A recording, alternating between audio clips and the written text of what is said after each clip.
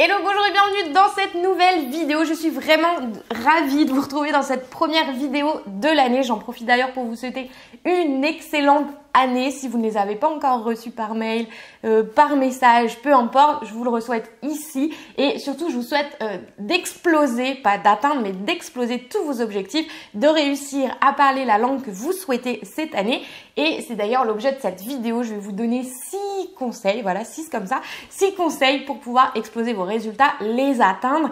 Et surtout, ce sont en fait des conseils... Euh, fondamentaux, ce sont les piliers fondamentaux, donc ça fonctionne pour n'importe quelle langue, peu importe euh, votre âge, peu importe euh, votre mémoire, peu importe, peu importe le contexte, en fait, il n'y a pas d'excuses, ces six piliers sont vraiment indispensables et vous verrez, ça va vraiment vous aider à parler la langue que vous souhaitez cette année. Jingle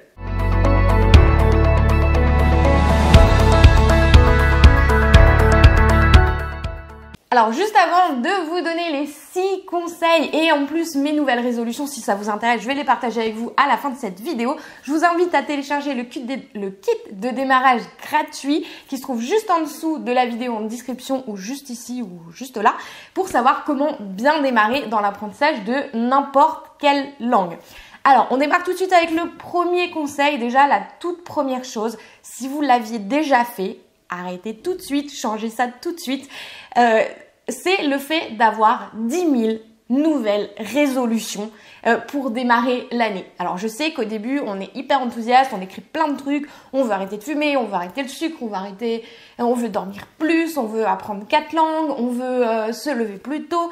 Bref, le, problème de ça, c'est qu'en fait, c'est beaucoup trop submergent. Moi, je vais vous proposer une chose, mais qui va être vraiment euh, très efficace par rapport à ce conseil-là, c'est de tout simplement faire votre liste de cette manière, mais le 1er janvier, en début d'année, c'est en prendre un seul de votre liste. Donc, en ce qui nous concerne, c'est euh, parler anglais, parler espagnol, peu importe, en prendre un mais vous allez vous euh, concentrer à 1000% sur cet objectif et vous allez vous fixer 3 mois. C'est-à-dire que dans 3 mois, vous aurez le droit seulement d'ajouter un autre objectif qui était sur votre liste au départ. Pourquoi euh, je vous préconise de faire ça? Parce qu'en fait, c'est toujours la même chose tous les ans, c'est le même scénario. Euh, on met 10 000 choses et au bout de 3 semaines, on abandonne tout ça parce que, eh bien, on en a fait trop d'un coup. Et quand on met en place une nouvelle habitude, le problème, eh bien, euh, c'est que ça nous demande de l'énergie parce que ce n'est pas encore automatique. Donc, le fait d'en prendre une seule, c'est on va toute notre énergie va être concentrée sur cette unique objectif. Donc ce sera beaucoup plus facile pour vous de, vous y tenir au quotidien et en plus euh, ça vous fera gagner en énergie et ça vous permettra eh d'atteindre votre objectif parce que, eh bien, vous ne vous éparpillerez plus et en plus, vous gagnerez en estime de vous, en confiance de vous, euh, en confiance en vous parce que vous aurez atteint votre objectif. Et qu'est-ce qui se passe au bout des trois mois? Eh bien, on va pas abandonner l'objectif de parler anglais, espagnol ou une autre langue, c'est qu'on va ajouter un autre objectif qui était sur votre liste euh, des nouvelles résolutions au début de l'année. Et de cette manière, ça veut dire que votre première habitude aura été euh, intégrée et automatisée, sera devenue automatique et ça sera beaucoup plus simple pour intégrer la nouvelle. Voilà, ça c'est mon premier conseil. Le deuxième, euh, qui est euh, la suite logique, c'est de tout simplement être progressif dans votre apprentissage. Pourquoi je vous dis ça? Parce que je vois souvent le cas. Euh, surtout dans, les nouveaux élèves du marathon d'anglais, c'est qu'on arrive, on est hyper motivé, on est à fond et on, on, fait 7 heures d'anglais et au bout d'une semaine, eh bien, on est cramé, c'est le burn-out d'anglais et, et finalement, ben, on se rend compte qu'il n'y a pas les résultats immédiats en face. Donc, on se dit, mince, qu'est-ce qui se passe? Pourquoi? Euh, Et en fait, déjà, plus vous allez pratiquer, plus vous aurez des résultats, effectivement. Néanmoins, il y a tout un travail d'assimilation qui prend un petit peu de temps, qui va vous permettre, qui va vous permettre eh bien, d'avoir des résultats efficaces et pas en claquant des doigts comme ça en une semaine. Donc soyez vraiment progressif, n'hésitez pas à à y aller euh, déjà à vous l'intégrer parce que le problème de ne pas prendre ça en compte c'est que encore une fois vous risquez de perdre confiance en vous en vous disant mais non mais je suis trop nulle j'y arrive pas etc alors que c'est le fonctionnement le fonctionnement naturel de votre cerveau. Il a besoin de y aller petit à petit. D'ailleurs ce qui m'emmène au prochain point au troisième conseil c'est de respecter le fonctionnement naturel de votre cerveau. Et ça pour moi c'est la plus grosse erreur parce que c'est quelque chose qu'on n'apprend pas.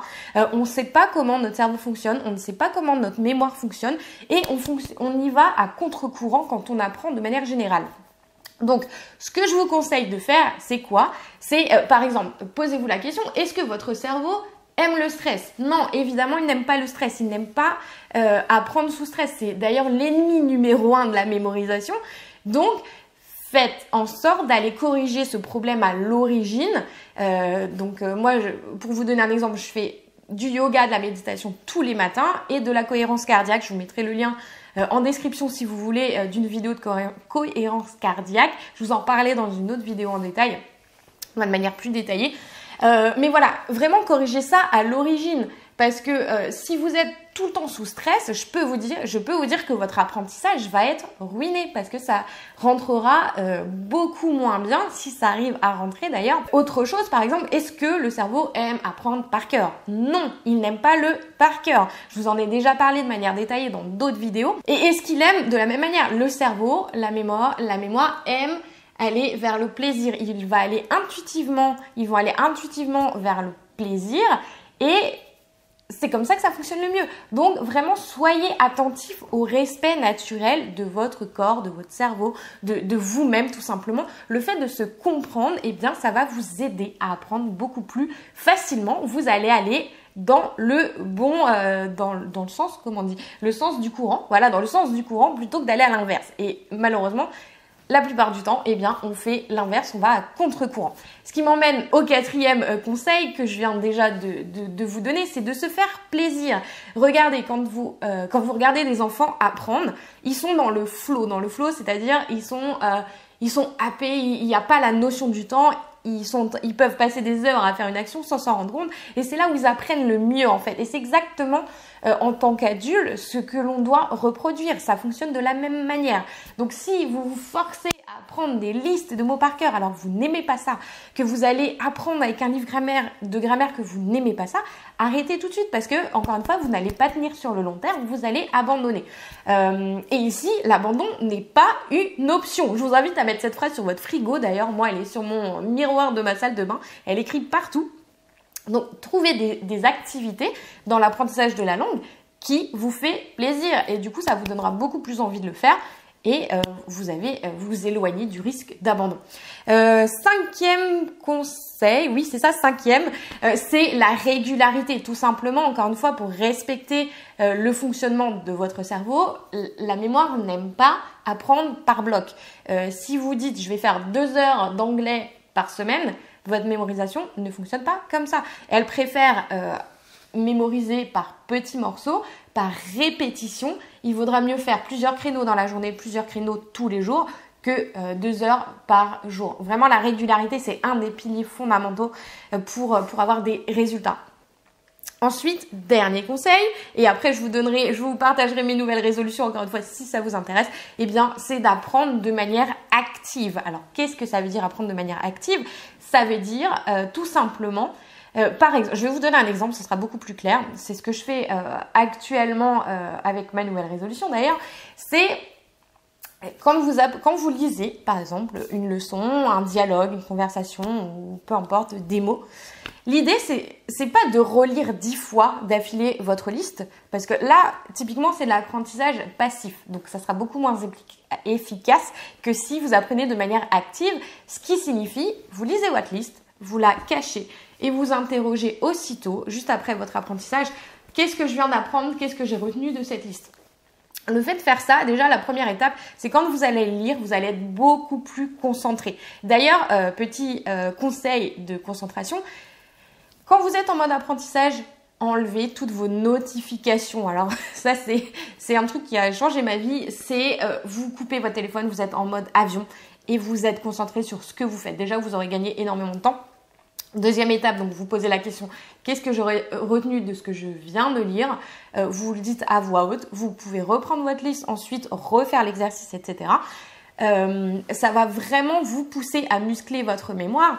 Vous pouvez refaire l'exercice plusieurs fois dans la journée ou euh, juste le soir même, vous vous interrogez, qu'est-ce que j'ai appris ce matin? Bim, vous ressortez les mots. Le lendemain matin, vous faites ça comme ça en plusieurs étapes. Et là, eh bien, ça sera beaucoup plus efficace. Vous aurez beaucoup plus facile à ressortir ces mots euh, ou ces phrases quand vous en aurez besoin parce que ça sera intégré dans votre mémoire à long terme.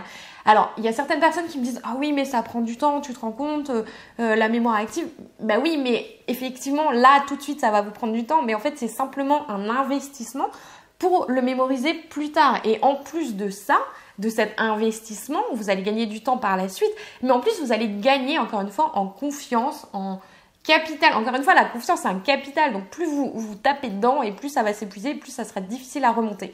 Et ça fonctionne également dans le sens positif, c'est-à-dire que plus vous y arriverez, et eh bien plus vous aurez des résultats, plus vous aurez confiance et plus vous aurez envie et vous allez gagner encore une fois en estime de vous. Donc ça, je vous invite vraiment à le faire de muscler votre mémoire, apprendre de mémoire active, de manière active pour pouvoir parler très très rapidement. Maintenant, pour passer, euh, dites-moi d'ailleurs en commentaire euh, si vous appliquez déjà ces, six conseils ou l'un d'entre eux, etc. Ou si vous avez des questions, voilà, mettez-les dans les commentaires.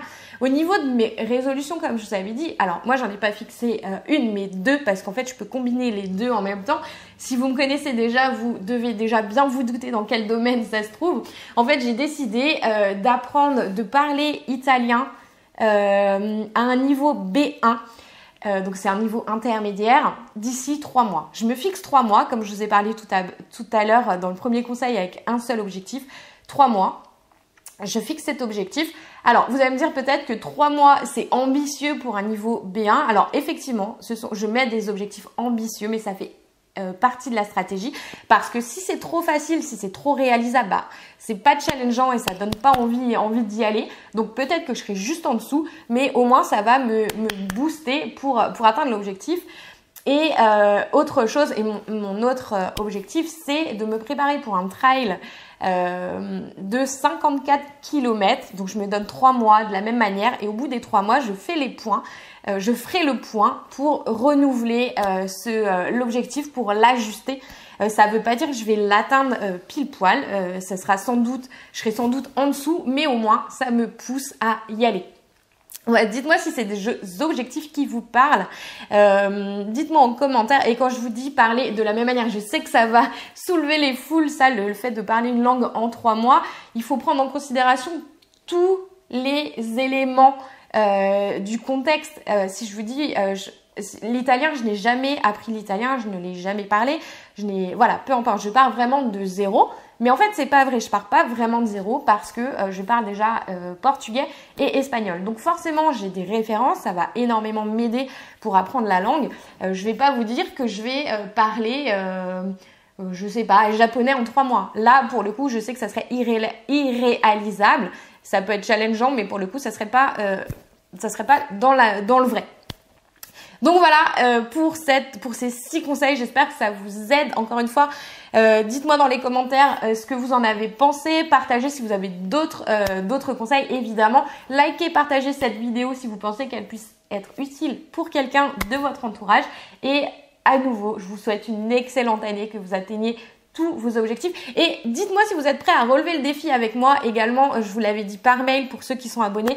Mais euh, le fait de, se lancer en même temps, ça, ça permettra de faire le point tous ensemble et de se motiver à plusieurs. En tout cas, je vous dis à très vite. Ciao